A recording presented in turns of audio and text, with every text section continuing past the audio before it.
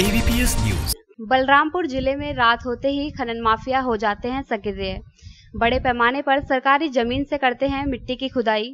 ऐसा ही एक मामला बलरामपुर के पडरी रामनाथ गाँव से सामने आया है, जहाँ रात होते ही मदारिया मदरसा के बगल बद्धापुर सरकारी तालाब की ज़मीन से दर्जनों ट्रैक्टर, ट्रॉली और जेसीबी अवैध मिट्टी खनन किया जाता है।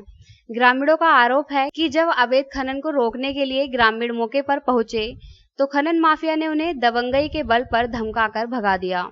ग्रामीणों का कहना है कि यह अवैध खनन लाल बाबू, निवासी अमारे भरिया, मोहराम अली, निवासी पडरी रामनाथ, कासिम अली, निवासी पडरी रामनाथ की मिली भगत से हो रहा है।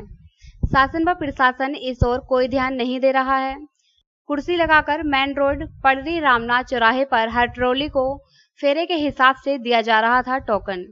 ग्रामीणों की सूचना पर पहुँची मीडिया टीम को पहले धमकाया। फिर रिश्वत का आरोप लगाया। जब धमकाने और रिश्वत का इल्ज़ाम लगाने पर भी दाल ना गली तो ट्रैक्टर ट्रॉली सब लेकर भाग खड़े हुए। रुक जा रुक जा रुक जा रुक जा रुक जा तो बताइए अपना पर काम वही बात अपना पर काम करो आप अपन काम करो हम अपन काम करो बातें करो रुक जा रुक जा यहाँ आओ यहाँ आओ, यहाँ आओ, यहाँ आओ यार आप अपना काम करो ना भूल कर पत्रकारिता करब तो का बताइए चलो गाड़ी ले चलो ले चले कोई खनन नहीं हो रहा था फर्जी बना रहे हैं। फर्जी कोई खनन नहीं हो रहा था कौन ठेकेदार है हाँ?